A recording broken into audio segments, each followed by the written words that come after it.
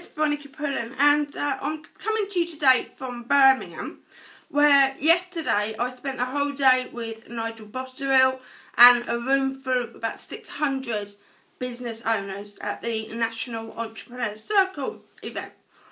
And one of the things that we were talking about yesterday was feedback and the importance of only listening to the right people. Um, if a piece of marketing or you're thinking of doing something this way or you're thinking of thinking of creating a promotion, you've recorded a video, you want to write a book, and you tell people, you tell somebody, probably the first people you'll tell are your family. And how often do you get negative feedback from them? Because it's quite uh, common for your family and your closest friends to see the worst, to see the downsides of everything that you want to do. And if you hear that a lot, it can actually reduce how confident you feel about yourself and about the uh, business that you're in, and you start to, to doubt yourself. And so, the message that I want you to think about today is who are you listening to that is holding you back? Who are the people who are offering you their constructive criticism or constructive feedback? That is actually uh, a cloak and dagger negative thought process because don't always assume that other people have got the same agenda for you as you have for yourself. And it happens to me quite often. And the further you put yourself out there the more likely you are to get criticism.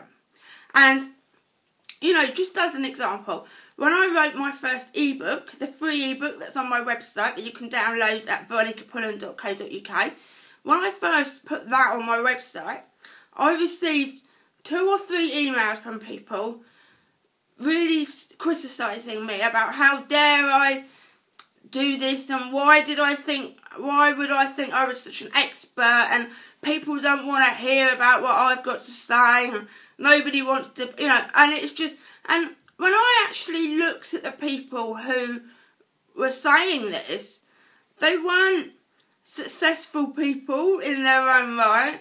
They uh, were people who weren't satisfied let's say with their own life and so what they were doing was projecting their uh, bad feelings about themselves onto me. And so I chose at that point, it was quite a harsh lesson because you do hear it, you do hear that negative criticism, but I made the choice not to listen.